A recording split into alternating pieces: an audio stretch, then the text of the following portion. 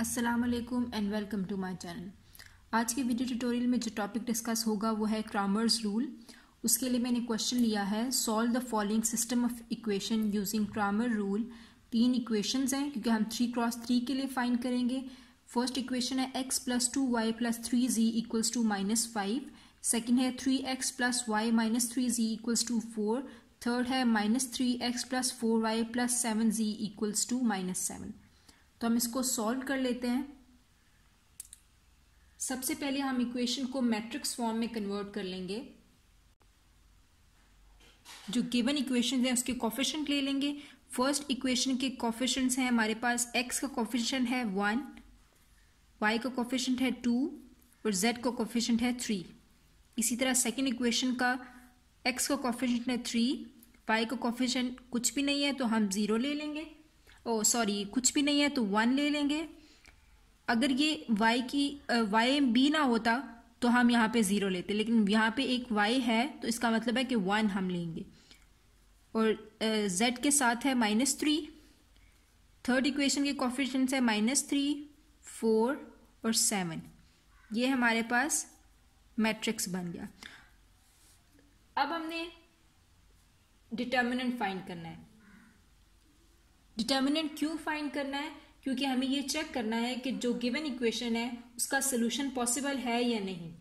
वो कैसे पता चलेगा कि अगर हम इस, इसका मैट्रिक्स का जब डिटर्मिनेंट फाइंड करेंगे तो उसकी जो आंसर आएगा, अगर वो ज़ीरो आता है तो इसका मतलब है कि इस इक्वेशन इन इक्वेशन का सोल्यूशन पॉसिबल नहीं है। लेकिन ज़ीरो के अलावा कोई वैल्यू आती है तो मतलब कि हम इसका सोल्यूशन फाइंड कर सकते हैं। तो हम सबसे पहले डिटर्मिनेंट फाइंड कर लेते हैं। डी फाइंड करेंगे। डी फाइंड करने के लिए फ़र्स्ट रो पहली वैल्यू का फाइंड करेंगे तो फ़र्स्ट रो फ़र्स्ट रो और फ़र्स्ट कॉलम के से वन लेंगे, क्योंकि ये पहली वैल्यू है, और इस इस रो को और इस कॉलम को छोड़ के ये जो दो वैल्यूज़ हैं, हम ये ले लेंगे। One, four minus three seven minus second वाली वैल्यू के साथ माइनस आता है। टू पहले एक्स की वैल्यू वन थी वाई की वैल्यू टू है तो टू ले लेंगे।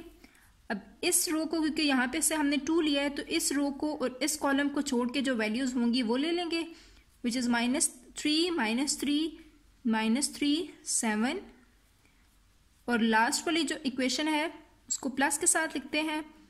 प्लस थ्री है थ्री है तो ये रो और ये कॉलम को छोड़ के जो वैल्यूज़ होंगी वो ले लेंगे। तो थ्री माइनस थ्री वन और फोर हम इनको सॉल्व कर लेंगे। वन सेवन और वन को मल्टीप्लाई करेंगे तो seven minus four into three twelve और ये थ्री का जो साइन है, ये साथ आ जाएगा। Minus two, seven three twenty one, minus और थ्री थ्री नाइन, और माइनस माइनस का साइन प्लस हो गया। Plus three, four three twelve, minus और थ्री वन, थ्री, और इसका साइन माइनस ये साथ में आ जाएगा। तो इसको सॉल्व इन सब इक्वेशंस को सॉल्व करेंगे तो डी की वैल्यू हमारे पास आ जाएगी फोर्टी डिटर्मिनेंट की वैल्यू फोर्टी आ गई तो अब इससे ये तो कंफर्म हो गया कि इसका सोल्यूशन पॉसिबल है। तो हमने अब क्या फाइंड करना है? एक्स वाई और जी की वैल्यूज़ फाइंड करनी है। तो हम लिख लेते हैं to find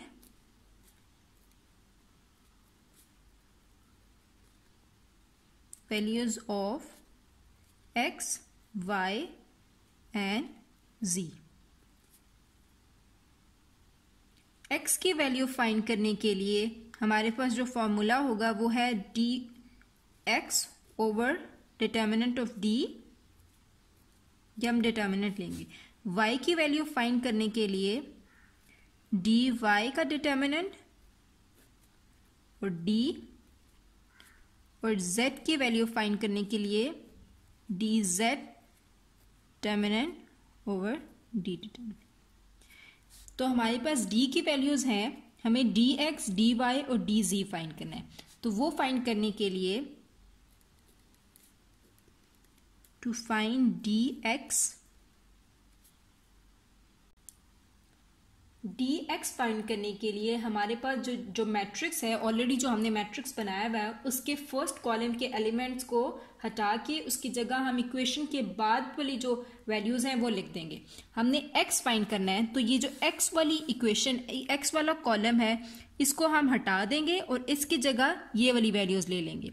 जब हम डी वाई फाइंड करेंगे करेंगे तो हम सेकंड वाली जो वाई का कॉलम है, वो हटा देंगे और उसकी जगह इक्वेशन के बाद की वैल्यूज़ लिख लेंगे। और जब हम डी जी फाइंड करेंगे तो जी वाली जो कॉलम है, उसको हटा के इक्वल के बाद की वैल्यूज़ लिख लेंगे। तो हम पहले डी एक्स फाइंड कर लेते हैं।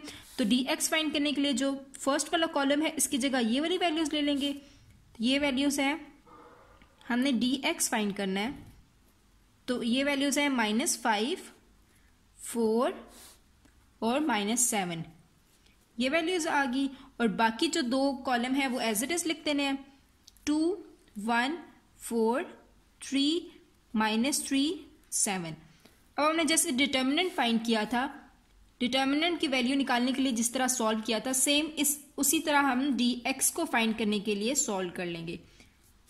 तो first number first column, first row के अलावा जो वैल्यूज़ हैं वो लिख लेंगे। One, four, minus three, seven, minus two. अच्छा ये जो माइनस आता है, ये फार्मूला का माइनस है। मतलब ये यहाँ से वैल्यू से हमने माइनस नहीं लिया, ये यहाँ पे माइनस सेकेंड वाली वैल्यू के साथ माइनस ही आता है। तो टू लिया है तो ये टू वाला कॉलम रो और टू वाला कॉलम के अलावा जो वैल्यूज़ हैं वो लिख लेंगे which is four minus seven minus three seven